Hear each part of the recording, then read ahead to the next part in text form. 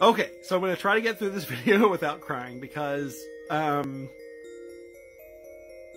I am just so beyond happy with the episode of Lower Decks that just uh, that released this week. Um, Hear All, Trust Nothing.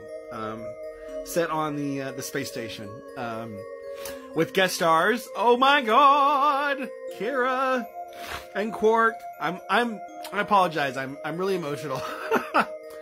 um, so yeah, just absolutely a a love letter to Deep Space Nine fans, to um, everyone who loves that series. Um, this was an absolute. Uh, I'm gotta stop crying.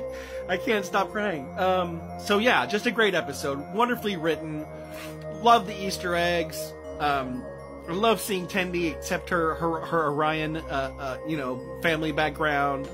Um, I loved Boimler uh, playing Dabo and doing so great at it, and the Mariner storyline with Jennifer was great. Like just all over great.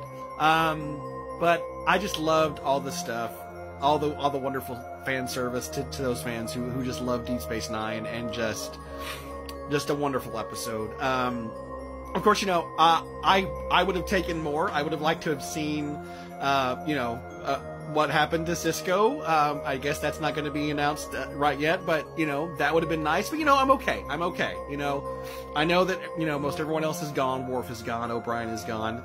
Um, would have been nice to see Bashir. Uh, would have been nice to see, you know, I guess Rom technically probably wouldn't be there because he's off, you know, doing his Grand Nagus thing. But um, yeah, just overall, I mean, look at me. I'm a mess. I'm an emotional mess right now. Um, I'm going to watch it again, and I suggest that you watch it for the first time and then watch it eight more times if you are a fan of this show right here, Deep Space Nine.